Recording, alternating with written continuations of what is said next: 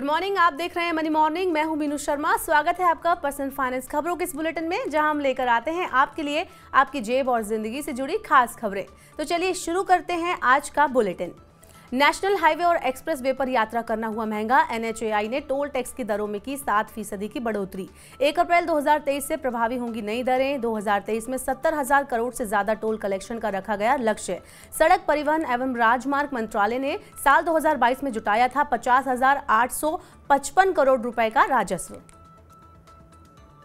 दिग्गज FMCG company Hindustan Unilever ने अपने कुछ प्रोडक्ट के दाम घटाए। एक लीटर लिक्विड सर्फ एक्सल का दाम दो रुपए से घटाकर किया गया, एक सौ निन्यानवे रुपये वॉश लिक्विड का भाव दो सौ से घटाकर हुआ, एक सौ नब्बे रुपये एक सौ पचासी मिली लीटर विम लिक्विड की कीमतों को बीस रुपये से घटाकर किया गया, पंद्रह रुपए। पंजाब नेशनल बैंक ने failed ATM cash withdrawal transaction पर रिवाइज की फ़ीस बैंक अकाउंट में पर्याप्त फंड न होने की वजह से एटीएम विड्रॉल फेल होने पर देना होगा शुल्क। पर ट्रांजैक्शन दस रुपए और जीएसटी का लगेगा शुल्क। एक अप्रैल से लागू होगा नया शुल्क। बैंक डेबिट कार्ड और प्रीपेड कार्ड पर भी ज़्यादा वसूलेगा चार्ज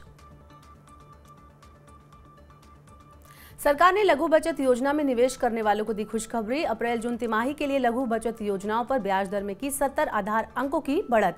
वरिष्ठ नागरिक बचत योजना, मासिक आय बचत योजना, सुकन्या समृद्धि योजना, राष्ट्रीय बचत पत्र और किसान विकास पत्र पर मिलेगा ज़्यादा रिटर्न। एक्सिस बैंक और येस बैंक ने सेविंग अकाउंट से जुड़ी विभिन्न सर्विसेज़ पर बढ़ाई फ़ीस। एक अप्रैल 2023 से लागू होंगी नई फ़ीस। औसत मासिक जमा राशि में नहीं किया गया कोई बदलाव। नए अकाउंट खोलने के लिए येस बैंक ने कुछ सेविंग अकाउंट्स को किया बंद। गति लिमिटेड ने छात्रों के लिए शुरू की student express service. Student express service के ज़रिए छात्र किफायती दर पर अपने सामान को किसी भी शहर में भेज सकेंगे। 10 लाख से ज़्यादा छात्र हर साल एक जगह से दूसरी जगह आते जाते हैं। सरफेस ट्रांसपोर्टेशन मोड के लिए स्टूडेंट एक्सप्रेस सर्विस के लिए आठ का फ्लैट रेट है। गति एयर के लिए फ़ीस है इक्कीस रुपए। सहारा समूह द्वारा चलाई जा रही चार सहकारी समितियों के 10 करोड़ से अधिक निवेशक को उनका पैसा ब्याज सहित मिलेगा। केंद्रीय गृह मंत्री अमित शाह ने निवेशकों को दिलाया भरोसा। इन निवेशकों का धन सहारा की चार सहकारी समितियों में फंसा है। निवेशकों को ब्याज सहित पैसा लौटाने की प्रक्रिया तीन चार महीनों में शुरू होगी।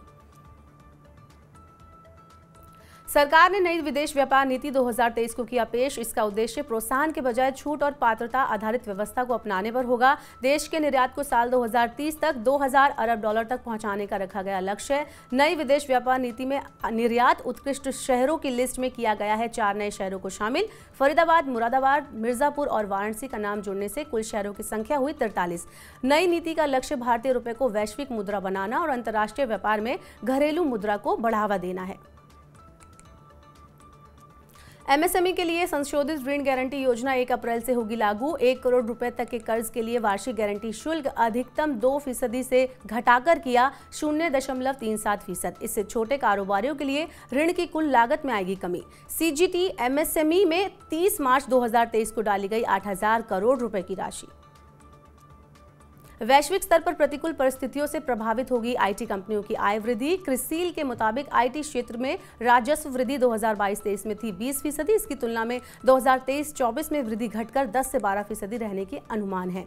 इस वजह से आईटी कंपनियों नई भर्ती कर सकती हैं और कटौती साथ ही कर्मचारी लागत में भी आ सकती है कमी। प्याज की कीमतों को नहीं गिरने देगी सरकार। रबी सत्र में तीन लाख टन प्याज किसानों से खरीदेगी सरकार। पिछले साल रबी फ़सल की कुल दो दशमलव पाँच लाख टन प्याज की गई थी खरीदी। किसानों को उचित मूल्य देने के लिए इस बार ज़्यादा होगी खरीद। पिछले महीने प्याज की कीमतों में भारी गिरावट के बाद महाराष्ट्र में उत्पादक कर रहे हैं विरोध प्रदर्शन। अन अकेडमी 350 कर्मचारियों की करेगी और छटनी कंपनी अपने मुख्य कारोबार को लाभदायक बनाने के लिए उठा रही है ये कदम। वैश्विक स्तर पर आर्थिक स्थिति है दबाव में।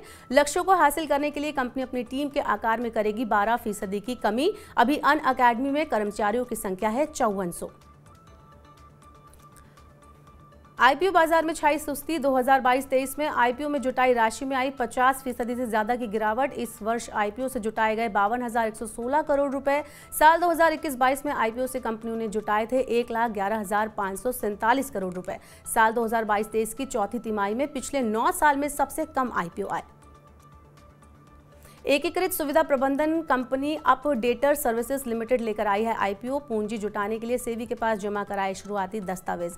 आईपीओ में 400 करोड़ रुपए तक के नए शेयर किए जाएँगे जारी। कंपनी के प्रवर्तक और मौजूदा शेयरधारक लाएँगे एक दशमलव तीन तीन करोड़ शेयरों की बिक्री पेशकश। जुटाई राशि का उपयोग कर्ज चुकाने, कारोबारी जरूरतों को पूरा करने और कंपनी का कामकाज करने के लिए किया जाएगा।